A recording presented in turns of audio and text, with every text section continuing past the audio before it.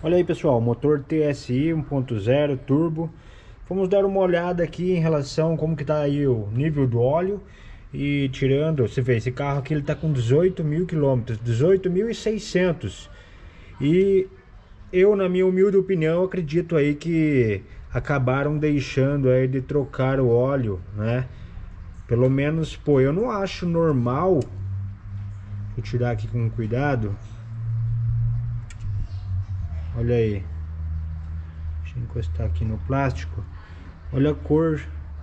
Eu vou tentar. Ele, ele acabou criando uma crosta. Você vê aqui até aqui na parte de cima. Deixa aqui mais no claro. Olha aí. Até aqui em cima. Então o que que acontece? Ele, se eu passar o dedo aqui, deixa eu mudar aqui a posição. Ó, ele tá formou uma crosta na real, né? A cor da vareta do óleo acabou mudando. Ó, se eu dar uma limpada aqui, deixa eu com um papel higiênico aqui. Vamos só limpar esse trechinho aqui. Ele tá tipo, olha aí, ó. Olha o exemplo aí. Então esse é um problema aí, na minha opinião, é que devem ter deixado de trocar o óleo é, no período correto.